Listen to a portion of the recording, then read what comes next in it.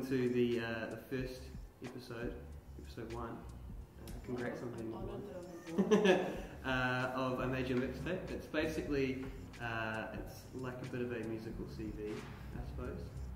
Uh, maybe an origin story, Be a snapshot. maybe a snapshot. Yeah. Um, hopefully, it hasn't caused you too much stress.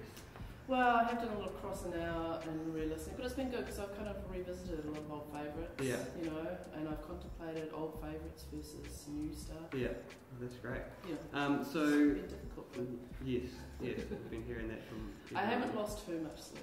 Yeah, good. good. Just a little bit. Um, so I guess yeah, in in uh, in the uh, the spirit of the CV, uh, can you give us a bit of a uh, cultural, artistic CV for yourself? Of me. Yeah. Of me. Um, okay. Oh, who are you first? Oh, I'm Kirsty. Great. Kirsty. Um, so I um, I'm a painter and I play music as well. So I kind of do both of those, and I've always done both of those. Um, I work as an arts educator as well. So um, and got kids, and you know I live in Palmy. Um, yeah, I've I guess I started playing music. Um, when I left Palmy, actually, I grew up in Palmy, and then I left Palmy after I studied engineering, and because I had my head in engineering, and then I left here and went to Dunedin and started hanging out with some artists and musicians, and um, started discovering that engineering engineering's not for me, and that I'd rather play music and make art. So, um, so I did that, and um, and actually, there's a bit of a history with um, with Dunedin and my song choices as well. So that's exciting. Um, and then I moved to Melbourne and played in bands there and um, went to art school in Melbourne and um, travelled through Europe and stuff and did all those things that you do when you're a young person. And um, ended up back in Palmy because I had an exhibition here at Thermostat. And uh, while I was making work for that, I um, met my current partner and we had babies and now I'm here. Sweet. So I'm in Palmy, and um, you know, Palmy's not the best place to be to be an artist, but it's um, it's got lots of advantages in that you can um, have big studio spaces. Yeah. And there's lots of studio spaces, and Yeah. there's opportunities in that way. You know, there may not be people, but there's um, there's other things that go with it. Sweet. Yeah. Yeah. Is- is Don't, that enough for you? that's great. That's great. I was going to say, don't don't sound too uh, unhappy to be in Palmy. yeah, no, It's okay. It's a blessing. Um, so I guess we'll get we'll get started on your, your track selections, and uh, appropriately first is the first song. I think I got this right. Yeah, the first song you remember falling in love with, or yeah, I Um, guess your okay, first well, favourite song. you know, is the other. um, uh, so the song that I've chosen is um, when when I moved to Dunedin. So I moved to Dunedin, and I um, I moved into a house that well, had a turret and was two story and had chickens, and it was just like this fairy tale. So I, I was working as an engineer and went to this really boring office job, and then I had this amazing life outside of it. And um, this guy moved in called Seth Rees, and um, he was from Christchurch, and he was a guitar player. And he, um, the, the, a couple of nights after he moved in, he invited me down to um, ARC, which was the, just a local venue in. Dunedin. And it was um, winter solstice, so it was like this acoustic winter solstice Cool. thing. Yeah. And it was there were candles around. He was sitting in the middle, and he played this song called Moth, and it was just the most amazing song I'd ever heard. I- I'd never really heard anyone play guitar like that.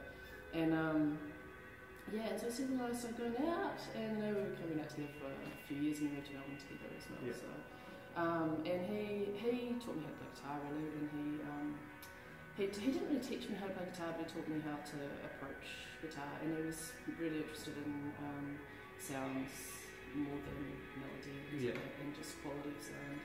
And um, yeah, I learned heaps of him, and um, in lots of ways, you know. He was a kind of eat rice kind of guy. Only. One of those. Yeah. Yeah. So, and we're still really good friends. Cool. He lives in Melbourne still, and he plays in um, quite a few bands there. Um, yeah, so that's one of the first songs. Um, so yeah, the song Moth, and, and it's on YouTube. Um, It's not a great. I I think it's a really great. It's just a live version on YouTube, Yeah. so you can play. It's about seven minutes long. Um, uh, but yeah, that's the first song that I remember hearing him play to, and I Yeah. remember, and I quite often said the first thing I fell in love with was his music, you know, Yeah. because he was just this guitar Yeah. player. I never heard anyone play guitar like that before, so um, yeah, that seemed like an appropriate kind of type of Yeah. song. Yeah, to yeah, get that's, awesome. What is it? It It's called? called Moth. Moth. Awesome. Our second, uh, on, it's kind of a short mixtape, I suppose, six songs. A Yeah, short yeah, mixtape, it is, it is.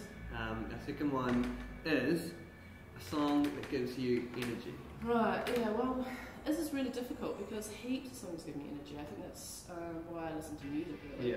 Um, yeah, funny enough, I remember, um, this is not related to the song, but I remember once when I was in um, Ireland deciding one day I was going to get up and go for this really good walk, Mhm. and I got these people to drop me way off in the distance, like at this castle, and I was going to walk back, you know. Yeah. I was like, yeah, I feel good, I can walk back.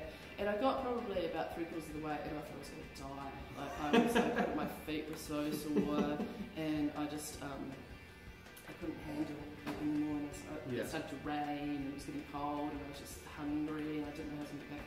But then I remembered I had my, my uh, Sony tape player in Yeah. my bag, you know, Yeah. and I put it on. I had one tape, I was travelling around with HDU High Pass Plus Plus Yeah.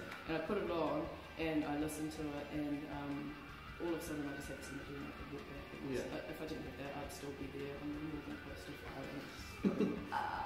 your thumb out waiting for pick Yeah. up. Yeah. But um, HDU, like going back to Dunedin, when I first moved there, I started listening to HDU. We had um, the same type high pass class in the kitchen at my flat, Mhm. and it was just on, it was on repeat, you know. Yeah. Um, and so right from the beginning, they've been a big influence in what I listen to music, high dependency unit. Mhm.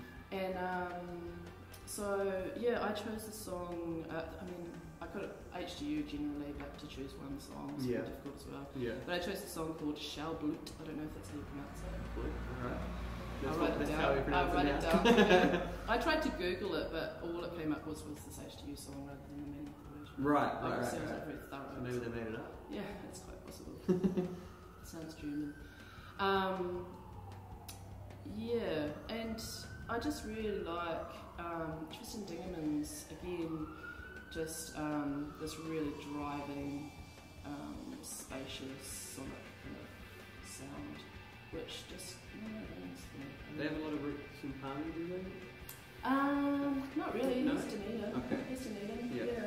I've never met him. I um, he's kind of been Tristan Dingemans has been a bit of a hero of mine for a long time. Yeah. And then um, a couple of years ago, his new band that played at um, Swamp Fest, and we played Yeah. with him. Right. And you know, I was just starstruck. he's, just a, he's just a regular guy. It turns out that lots of people I know know him. You know, Right. And friends with him. Yeah. And Tito, they know him. And um, so afterwards, we went we went to the Celtic after the show, Mm. and I was like starstruck, going. I used to have high plus plus on tape. It's like, oh. Yeah. But, you know, it's crazy when you, when you meet people who you've kind of held as heroes Yeah. for a long time. Yeah. And it can be anyone. Yeah, yeah, yeah. It's not, it's not just, uh, It's just a Taylor Swift and. Kanye West that are the Yeah. heroes of this world. yeah. Uh, number three is this one's meant to be quite conceptual.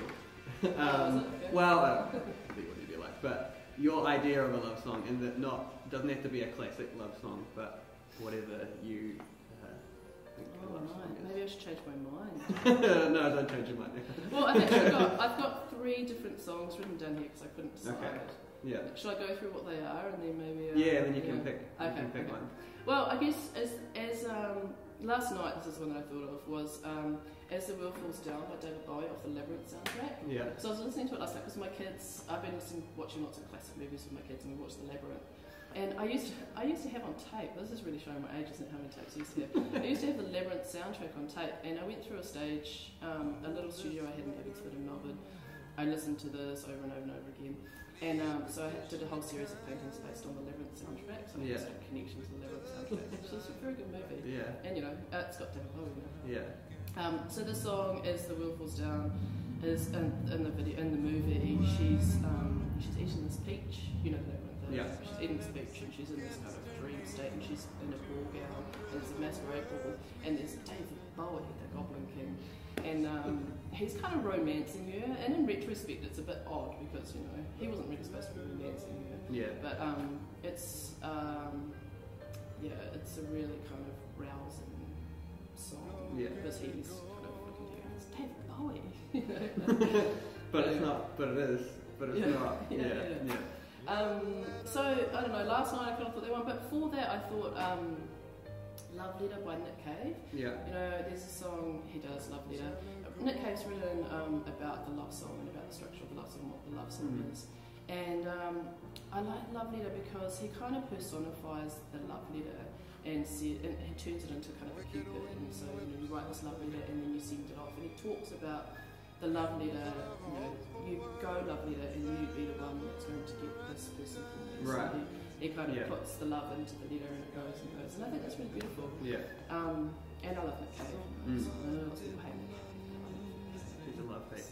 Yeah. Um, but the other song that I thought as well, well, there were two other ones. One was Marlon Williams' Dark Child, which he's kind of relatively new. Mm. And um, I've been listening to that in my car, um, and it starts with my little blonde-haired blue-eyed boy, and I've got a little blonde-haired blue-eyed boy, and Yeah. he sits in the back, and he sings along to it, so he listens to music in the car. Yeah. And um, it talks about how um, how you love your children, but um, you know you, you love them unconditionally, and sometimes they can do things dark child things that really piss you off. Yeah. I think that um, as you get older, the ideas of love, you know, like romance, love, is not necessarily there anymore. But there's this idea of love which is different, and it's about um, unconditional love, or you know, their children. And, Mhm. um, and the other song I had was "Rolling Is How a Dead Radio," which is a similar kind of thing Yeah. where he talks about his um, um, how he needs people. Like, um, you're good for me like cigarettes, but I haven't sucked enough of you yet. Yeah. That kind of desire and love thing. So Mm. there's quite a few, and the winner is going to Yeah. be. What is it going to be? Oh, I think it's going to have to be. Um, I think it's going to have to be Love track four on your mixtape, uh, a song that's attached to a great story or has a great story. Yeah, this was hard actually. Yeah. Um, and um, I don't. I think it's hard because I don't know that it's a great story, but it was great for me at the time. And I probably recited the story a lot of times, and probably the people that listen to it don't think it's that much of a great story. But I'll tell you anyway. Um, I um, I've chosen uh, this band Stabs, and they're um, a Melbourne band who I used to hang out with and, and uh, go and see. And, and they were friends of mine. And I lived with some who played with them. And um, once when I was travelling, when I was back on holiday in Palmerston North, um, I just visited my parents. Um, they were playing there, they were touring New Zealand, Right. and um, so it just so happened that I hadn't been down, and I Yeah. realised, you know, on the day, oh my god, my friends Yeah. are playing in Palm Store, Yeah. how bizarre. Because there's a real separation when you live in another country, and you come back here, it's like you come back to and it feels like you've gone back to 1952, you Yeah. know, and Mhm. like with your parents and doing that. and so um, I went and they were playing at the Summit, I think, down on Main Street. Yeah. It's a really crazy place. And I went along and like my housemate was on the door, my housemate from Melbourne, and you know went and just hung out with these Melbourne friends of mine, and um, and they played, and they're a really fantastic band. I love the Stabs. They're crazy. You know, there's always destruction. Someone jumps into the drum kit Yeah. and uh, shuts their guitar somewhere. or As the name would suggest. Yeah, yeah, as well. Um, and um, so, and afterwards, um, they were, oh, we've got a van, we're going to come back to come back to where we're staying. And so we got in this van and we drove to like this route that I would go to get home Yeah. to my parents' house. And it ended up pulling up to just around the corner from my parents' house. and they're staying at this house that was around the corner from my parents' house. Yeah. And it was just really surreal. And uh, it turns out, you know, I'm friends, it was JC's house and I'm friends with JC now. Yeah. So there's this really kind of, it's just a small world Yeah. small world Yeah. situation. so um, that was the first time I met JC and it's the first time I met Markham actually, who I'm now you know, Yeah. married to pretty much. We've got children now, Yeah. so he was at the same party too, which was um, about three years before I met Becky. So Yeah. I kind of had that little. Um, it was actually, in a way, it was kind of me going, oh, there's this side to Palmy too, because I've never really seen it before. Sure. Yeah. I'd, um, well, I had when I was living here, but I, when you come back, you just of see the surface and you don't Mm. see Mm. um, like people doing cool things. Yeah. people just like you, yeah, you know.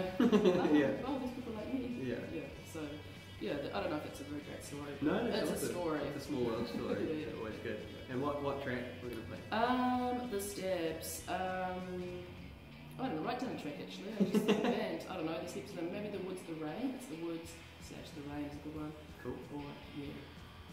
Right. Let's go with that. The stabs, the woods slash the rain. All right. Uh, track number five. We're nearing the end uh, of the uh, of the mixtape. This is this very It's short, short mixtape we're doing. yeah. Yeah. Uh, the track number. C20 or something? Yeah, I suppose so. It's eight tracks, but six. However that works. Um, uh, this one is about live bands, or the, uh, a song that reminds you of a live band moment or a great show you went to. Okay, alright. Um, oh, there's heaps of these too. Yeah. And, um, yeah, but I chose um, this solo artist actually called Pop Police, who's um, Is that how you say that? Pop I never, I never knew how to say. Oh, really? how would you say it? Pop Police. Oh, yeah, I think I said po police Oh, okay. because I say police. Well, I guess Uh, yeah. So you've got a Pop Police? Pop Yes, Police. Okay. yes. Yeah. So um, it's this by Mark, who um, is he's from Auckland originally, but he was in Melbourne at the time, and he was with mine. And he came over here and played as well. And he does this amazing solo thing where he manages to create an entire band. Yeah. And um, yeah, uh, he came and played here at Mopa actually um, after when I was pregnant, and I went and saw him. Mhm. It was me and Mark and one other person. So it was great. It was Yeah. it was fantastic show. It was Yeah. outrageous, you know. Um, Mopa was a thing to go to. Mm. Um, yeah, I chose a song called Action, and it's just a cool song. Yeah. And he's just full of energy, and he's a real good guy, and yeah. Where, the, where is he from? Uh, he's from Auckland originally, Right. but um, he lives in Melbourne. He's still in Melbourne. Cool. Yeah. Awesome. So actions. Action. Sweet. Cool. So we are um, on the last track, and fittingly, it's uh, the tracks we played at your funeral. My funeral. Not I'm something you now, really all want to think about. Yeah, it's all over. It's all over. Well, this one was hard too. Maybe they were all hard. Yeah. I don't know. Thinkers. That's the idea. Right. Okay. Make us think. Yeah. Give us something to do.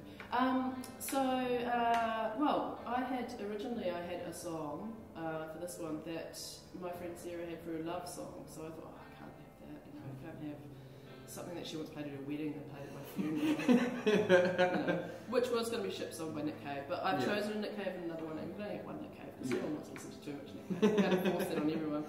Um, so I'm going to choose. Um, I don't know. Funeral songs are hard. Eh? What do you want? Do you want people to be, uh, you know, happy? Do you want people to be sad? I don't know. I think funerals are a place where people can be sad and actually can just grieve and cry, and that's the place you do it. So Yeah. um, I've chosen the song um, by a band called Amplifier Machine, who um, um, so Seth is the first person who played him, played Moth, that one, he plays drums in this band. Mhm. And um, they have a really beautiful philosophy about um, making music together. There's three of them. There's um, one guy Paul, a guy playing guitar, and a drummer.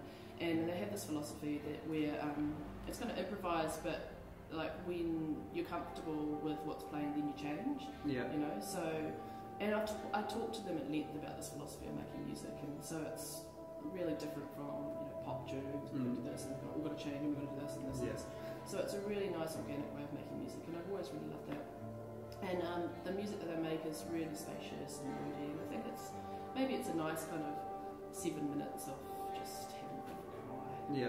I hope people will cry at my funeral. know, after that, they can like you know yeah. go party. For sure. Yeah. So what's the, the track's called? Um, it's called Her Mouth Is an Outlaw. Awesome. By, by Amplifier Machine. Yeah. I have it on CD. So. Cool. I Still oh, it's on the internet. Everything's on the internet now. Yeah, that's true. That's true. Awesome. Hey, thank you so much. That's, that's, right. uh, that's our short but sweet uh, mixtape. And uh, hopefully, hopefully the listeners out there enjoyed your tune. Yeah. Cool. Cheers. Thank you.